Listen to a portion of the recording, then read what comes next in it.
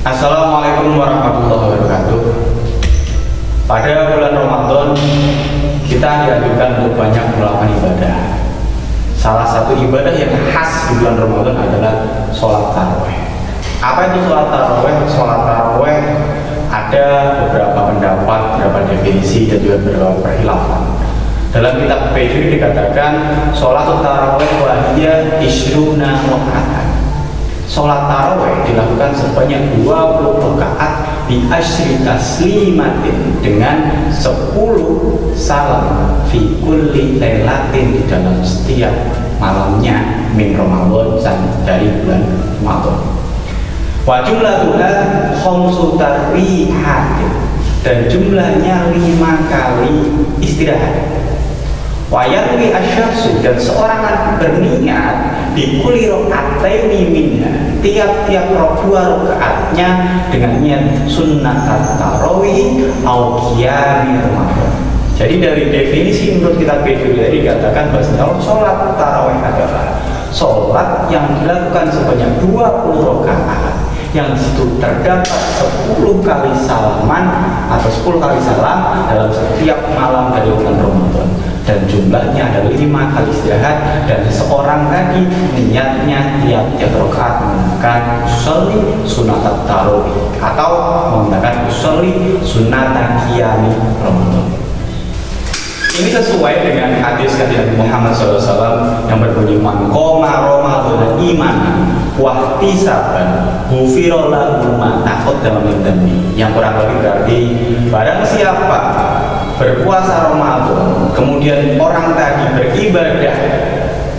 Ibadah di sini adalah kiam Ramadan atau sholat tarawih dengan penuh keimanan, penuh keikhlasan maka akan diampuni semua dosa-dosa yang sudah terlampau atau terdahulu. Jadi mumpung di bulan Ramadan dan keistimewaan Ramadan salah satunya adalah ada tarawih. Karena apa? Selain bulan Ramadan tidak ada ibadah sholat taraweh. Terlepas ada berkhilafan, apakah taraweh harus 20 atau ada yang menggunakan 8? Silakan monggo jangan mau pakai 20 boleh, pakai 8 boleh. Akan tetapi memakai metode yang baik dan benar yang di sini berarti untuk sholat sunnah, semua sholat sunnah ketika dilakukan pada malam hari dua rakaat salam, dua rakaat salam. Jadi kalaupun jenengan mau pakai 8 rakaat itu juga boleh akan tapi menggunakan tiap dua rakaat salam tidak empat rakaat satu salam yang jelas ketika 20 atau 8 tentunya jumlahnya lebih banyak 20 ada makalah mengatakan al ajru bi tahap ganjaran atau pahala itu berdasarkan apa disesuaikan dengan kesusahannya. Al-ajr jadi semakin kita bekerja keras maka semakin juga semakin banyak pahala yang kita dapatkan. Sedangkan dalam sejarahnya taraweh itu dulunya disebut Qiyamul Lail Ramadan. Sehingga sesuai dengan hadis yang diriwayatkan oleh Sayyidah Aisyah yang kurang lebih berbunyi an Aisyah radhiyallahu anha an Rasulullah sallallahu alaihi wasallam Data lailatin fil masjid fa shalla fi sholatihi nasun. Diriwayatkan dari Sayyidah Aisyah radhiyallahu anha bahwasanya Nabi Muhammad SAW pernah pada suatu malam di dalam masjid sholat dengan beberapa orang. Suma sholat minal qabila Maka Kemudian di malam berikutnya Yang sholat dengan kajian Nabi semakin banyak Sumastama'u minal laila Kemudian pada malam ketiga jumlah yang ingin berjamaah sholat dengan kanjeng Nabi semakin banyak dan semakin banyak. Awirobi aku pada malam keempat semakin banyak lagi. Tapi apa yang terjadi? Falam yakhruj ilahi Rasulullah SAW. Ternyata pada malam ketiga dan malam keempat Ramadan itu justru kanjeng Nabi Muhammad SAW tidak keluar rumah. Falama asbah. Kemudian ketika sudah masuk waktu subuh pagi harinya, Nabi Daud kola kontro itu Allah disonatu bahwasanya Nabi Daud saya melihat apa yang kalian lakukan falam yang nak saya tidak mencegah apa yang lakukan falam yang nak minal dan juga tidak mencegah saya keluar rumah untuk sholat bersama kalian semua. Illa in illa an karena saya khawatir antufroda wadhalika fi Ramadan bahwa saya khawatir ketika saya keluar di malam ketiga dan malam keempat ini justru akan merubah sholat qiyamul Ramadan yang tadinya statusnya sunnah akan naik tingkat menjadi wajib jadi itu saking sayangnya Rasulullah terhadap umat terlepas dari itu semua Taraweh punya beberapa keistimewaan yang tadi. Salah satunya adalah cuma ada di bulan suci Ramadan. Dan pertama kali mencetuskan dinamakan Taraweh karena banyak istirahatnya, banyak rohahnya ada pada masanya Khalifah Umar bin Khattab. Bahwasanya pada masa Khalifah Umar bin Khattab seluruh masjid setelah puasa berbuka malamnya sholat isya kemudian melaksanakan sholat yang beliau sebut sholat tarawih. Ini sesuai dengan daun Nabi juga. Karena suatu ketika ketika penentuan awal kali sholat diwajibkan setelah nuzul Quran semua sahabat oke okay lah. Sudah sepakat terlepas yang pertama yang sepakat yang setuju cuma Abu Bakar. Kemudian semua sudah oke okay, pertanyaannya kan Nabi bagaimana cara kita mengetahui alarm sholatnya? Karena dulu HP juga belum ada yang aplikasi-aplikasi sholat jam juga belum ada.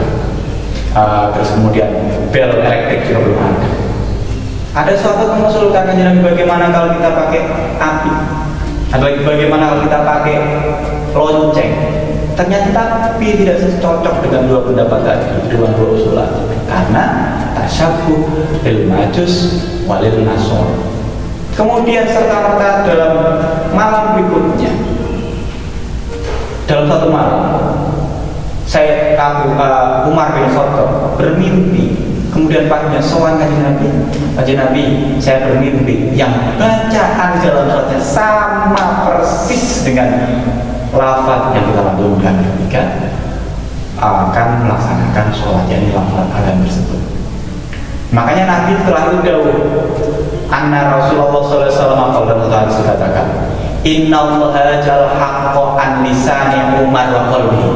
Bahwasanya Allah menjadikan perkara yang benar dalam lisannya, lidahnya Umar dan hatinya Umar. Bahkan dalam keterangan Nabi pernah dahulu, kalau saja seandainya setelah saya masih ada Nabi, kemungkinan salah satunya adalah Sayyidina Umar.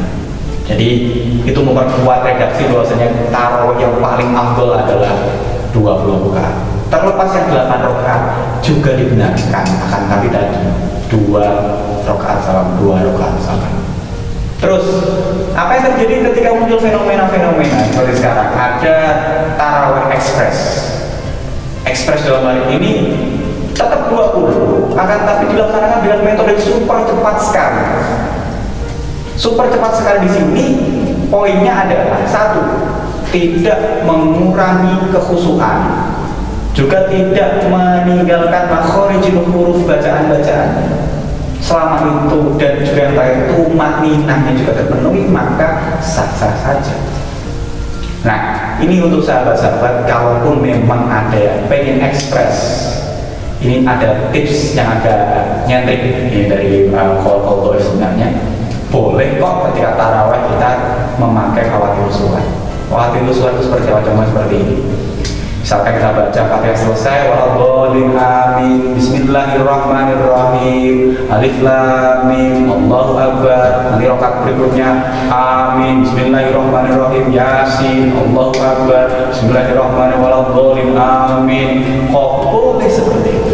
Jadi tips untuk dengan semua kalau misalkan pengen taruh ekspres tanpa mengurangi kekhusukan, tanpa mengurangi kefasihan makhorijil huruf tajwidnya bisa dengan tetap menggunakan rumah inahnya silahkan bisa memakai uh, metode seperti ini akan tapi saran saya jangan dilakukan dengan cara berjamaah karena ini akan menjadi sesuatu yang viral tentunya.